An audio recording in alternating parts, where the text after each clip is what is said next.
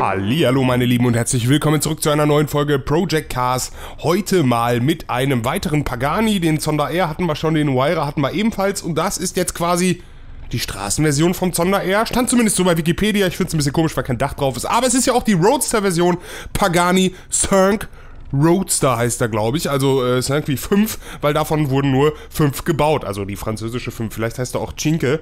Keine Ahnung. Ich bin kein Sprachwissenschaftler. So, und das Ganze hier auf dem Azur Circuit, aka Monaco, wo ähm, ja solche Fahrzeuge auch im Straßenbetrieb, sag ich mal, alltäglich sind. Monaco, das Land der Schönen und Reichen. Und ähm, ja, dort gibt es halt solche Fahrzeuge, ne? Ich höre nochmal eben rein kommt ein bisschen viel Rauch aus dem Auspuff, habe ich das Gefühl. Wir gehen mal eben ins Cockpit. Da ist auch mit den Händen noch was nicht ganz in Ordnung, das seht ihr da. Aber da achten wir jetzt einfach gar nicht drauf. Wir gucken uns lieber, wartet mal, dafür gehe ich nochmal eben hier wieder rein, dieses wunderschöne Auto an. Ich meine, guck mal hier, was ist das denn eigentlich? Was ist das für ein Nippel? Da wird doch Luft angesaugt, oder? Könnt ihr mir doch erzählen, was da wollt? Hier gibt es schöne Boxen hinterm Fahrer. Also es ist auch ähnlich wie der Huayra, sehr detailreich vom Cockpit her. Nicht ganz so schnöselig, nicht ganz so spacig, sag ich mal aber dafür viel Carbon, viel Rennsport. Hier so große, so große Auslässe auf den Schultern, das sieht auch echt geil aus. Boah. Entschuldigung, wenn die Kamera so hektisch ist. Das hat aber echt schon was Geiles. So, und wir fahren einfach mal. Natürlich mit Kavalierstart, wie es sich gehört. Und äh, mit Abkürzen der Strecke, wie es sich auch gehört. Auf dem Azur Circuit gab es bisher leichte Veränderungen. Das habt ihr gerade schon als, als Hintergrund quasi gesehen, wo ich noch am Start stand. Eine neue Tribüne. Und auch neue Texturen bei der Boxenausfahrt und so weiter. Also hier geht die Strecke auch wirklich voran.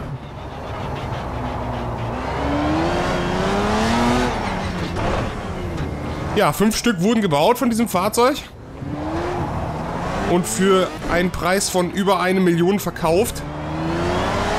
Zuzüglich Steuer.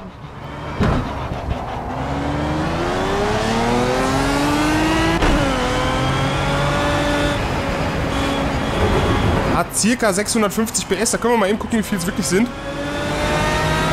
Ja, 660. Da geht noch was. Müssen wir mal eben hier aufpassen. Huch.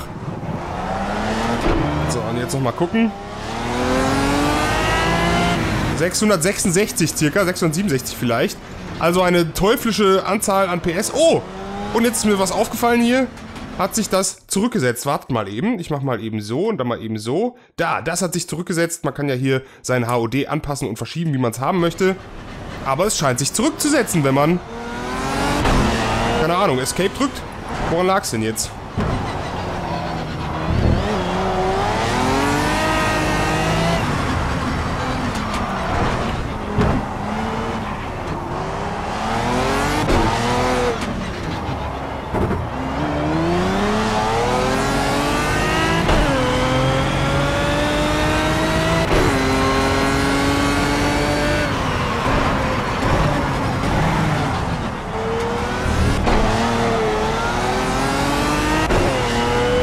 Klingt schon wirklich geil, muss ich sagen. Hat auch Geräusche drin, die man so noch gar nicht gehört hat. Ich zumindest. Dieses, dieses Klacken, hört ihr das? Wartet.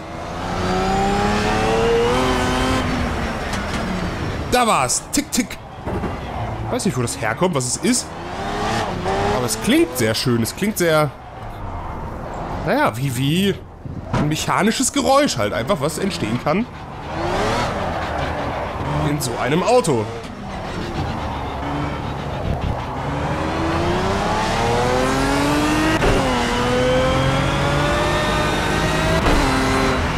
Ja, und sind wir zu schnell. Ach du Scheiße. Das wollte ich eigentlich vermeiden. Für diese Rechtskurve ist man eigentlich immer zu schnell, es sei denn, man fährt Formel 1 Auto und hat Abtrieb ohne Ende.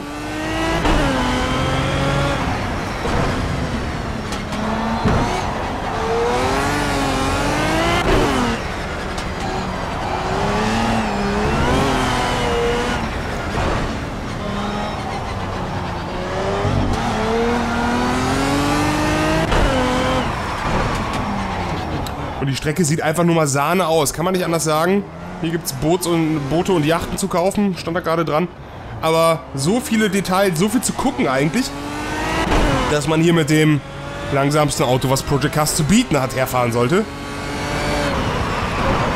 Oh, wir sollen schon wieder in die Box gehen. Es ist doch zum Mäusemelken. Aber da habe ich zurzeit nicht alleine Probleme mit, dass äh, einfach mal zu wenig Sprit angezeigt wird, obwohl genug, genug noch da ist. Kümmern wir uns nicht weiter drum. Äh.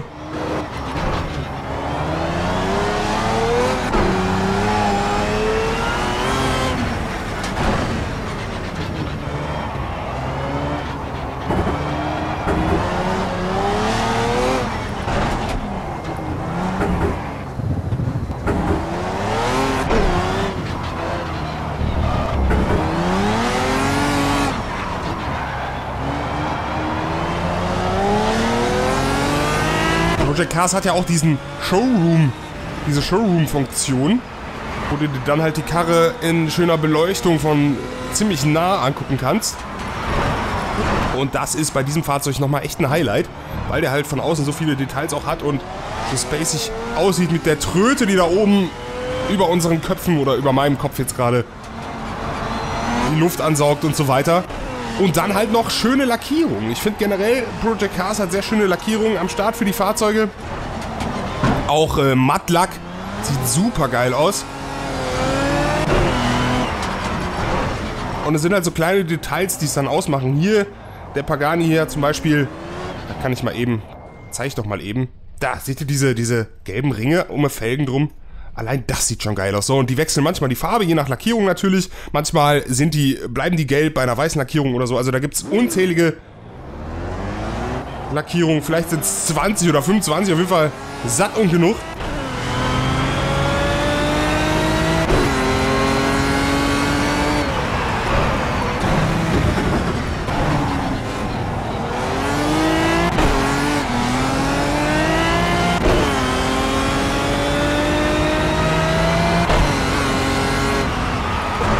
Und der geht halt ab wie die Hölle, ne?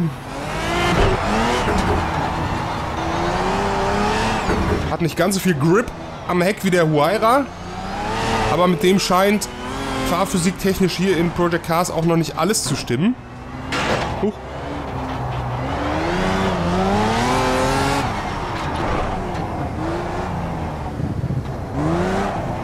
Deswegen wollen wir da noch mal keine voreiligen Schlüsse ziehen.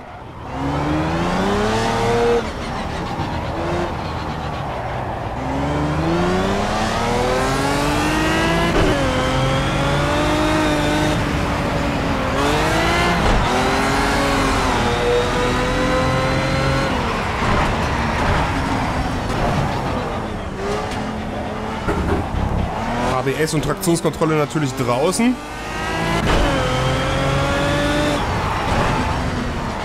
Wenn ich jetzt keinen Quatsch erzähle, jetzt muss ich mal eben nachgucken. Ne, ABS ist sogar drin, das machen wir auch mal eben raus.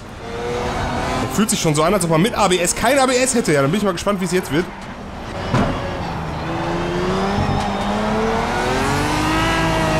Kann man sich übrigens auf Knöpfe belegen. Die ganzen Fahrhilfen. Traktionskontrolle, ABS oder auch äh, Stabilitätshilfe oder sowas. Dementsprechend kann ich da wunderschön schnell rumswitchen und ausprobieren.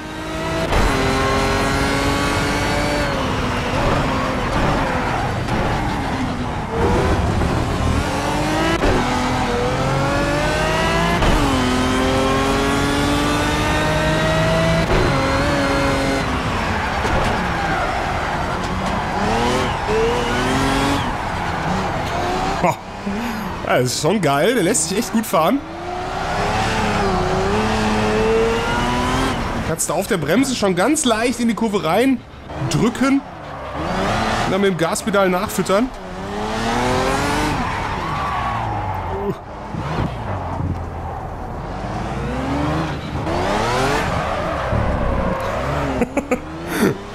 Muss man nicht übertreiben hier.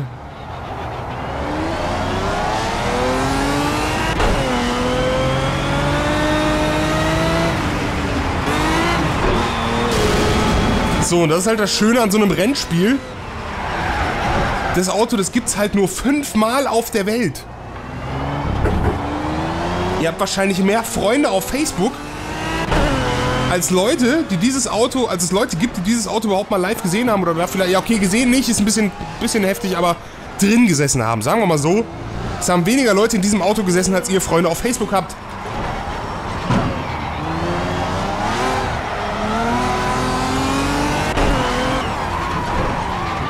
Und dementsprechend die Wahrscheinlichkeit, das Fahrzeug dann nochmal auf dieser Strecke zu sehen oder auf, auf alle Strecken, auf allen Strecken, die es in Project so gibt,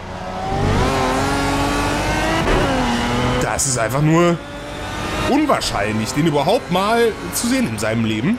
Und hier kannst du aber im Spiel den auf sämtliche Strecken entführen, Scheiße bauen, rückwärts fahren, was weiß ich.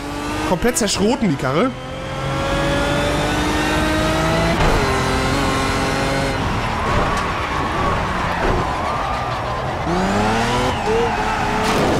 Will eh gar nicht wissen, wie viele Paganis für Crash-Tests draufgehen. Und auch generell alle, alle Fahrzeuge, die einfach so zerstört werden für ein neues Modell. Muss natürlich sein, aber das ist bei solchen Fahrzeugen natürlich dann nochmal eine Nummer ärgerlicher, als wenn so ein schöner neuer Golf vor die Wand gefahren wird.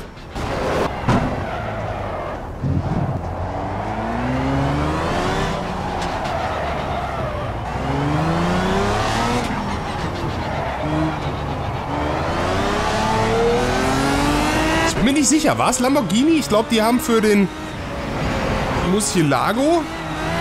Ne, ich glaube für den Gallardo war es. 77 Fahrzeuge allein für die, für die Crash-Tests zerstört. Zerstören müssen.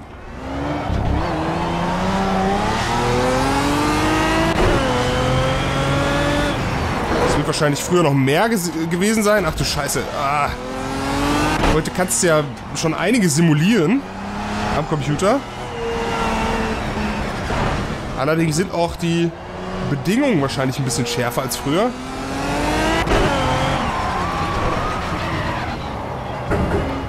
Jetzt versuchen wir nochmal hier eine Runde einigermaßen sauber zu fahren.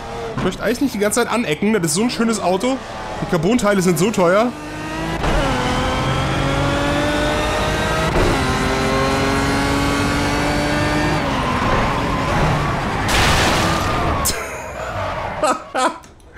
Es ist so schlecht. Ma, ich nehme mir vor, fährst du langsam, machst du keine Scheiße und dann direkt in der... Oh, da ist ja der Bremspunkt. Und dann gucke ich den Bremspunkt quasi hinterher, um danach noch erstmal drei, vier Sekunden zu brauchen, um zu checken, dass ich dann bremsen müsste.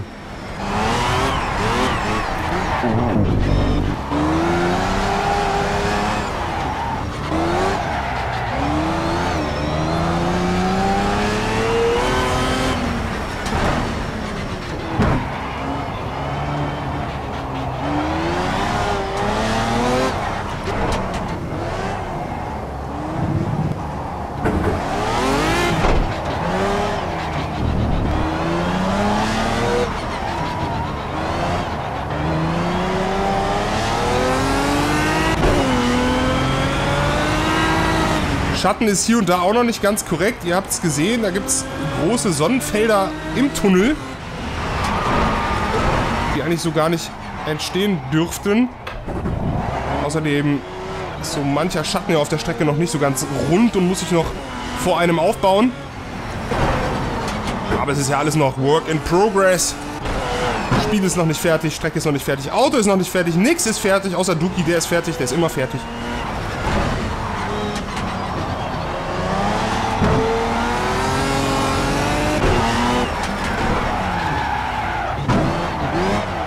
Wer fährt? Ich. Fertig. So, letzte Runde.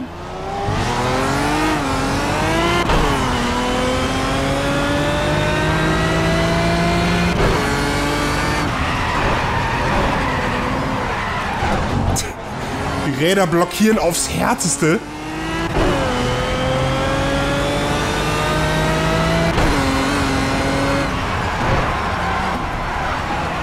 Und da haben wir schon verkackt. Da haben wir es schon verkackt. Der Einstieg war auch schon schlecht. Ach ja, Leute, wenn man es nicht drauf hat, ne?